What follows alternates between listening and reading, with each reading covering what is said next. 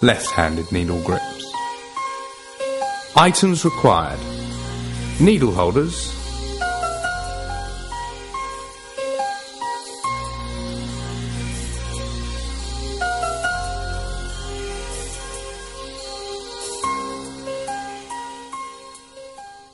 This is the left-handed standard surgical grip.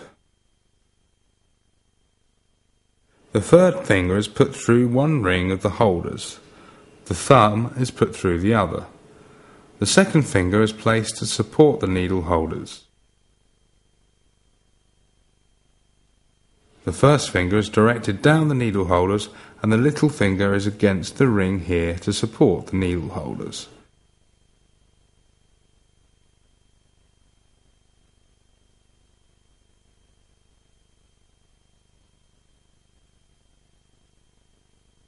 The first finger is directed down the holders, the second finger is supporting the holders, and the third finger is supporting the holders. Again, the balls of the fingers and thumb should be resting against the rings of the needle holders.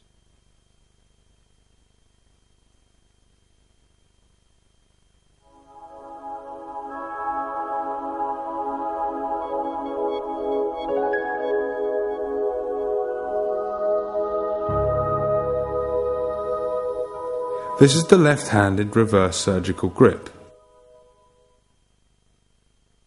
The second finger is placed through one ring. The thumb is placed through the other ring. The first finger is placed on one of the rings, and the third and fourth fingers placed along the side of the holders to support the holders.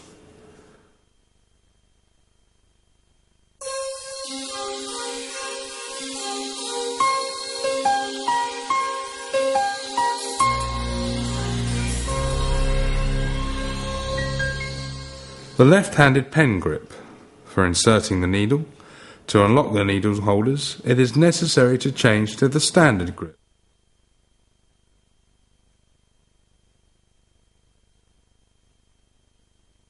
Or from the pen grip, changing to the reverse grip for unlocking the needle holders.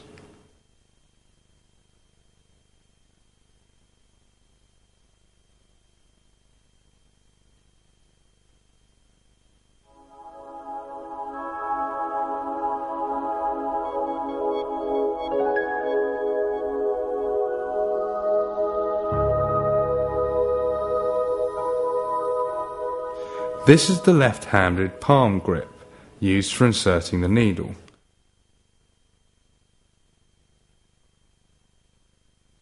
It's necessary to change to the standard grip to unlock the needle holders